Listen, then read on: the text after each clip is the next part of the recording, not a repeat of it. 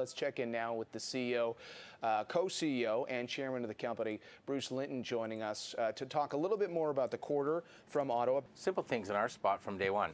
Uh, if you're working for me or anybody reporting to me or reporting to those people, you can't buy stocks in companies in the sector. Can't. And the reason is, what if we want to buy that company? It looks like we're self-dealing. And what if we actually want to run them over? Maybe you're biased about running them over.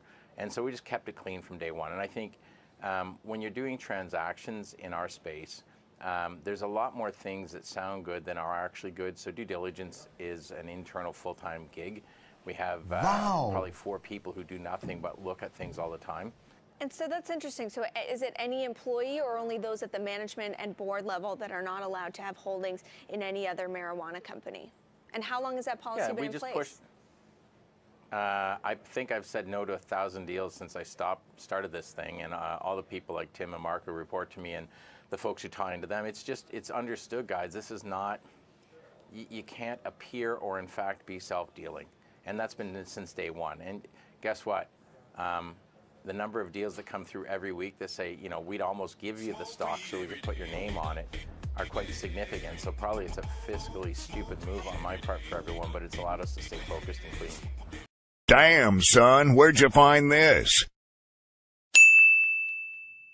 And anybody listening, if you want to invest, call me. I mean, just give us a sense on your financial plans going forward from that perspective.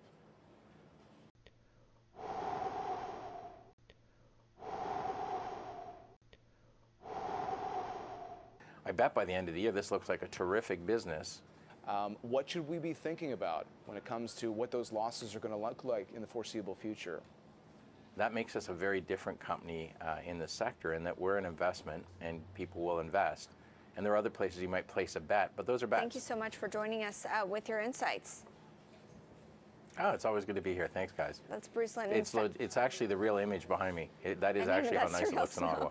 No, nobody would put that as a fake image behind you. That's not a beauty shot. Thanks so much, Bruce. That's founder, chairman, and co-CEO of Canopy Growth. Oh, you ready for takeoff, baby?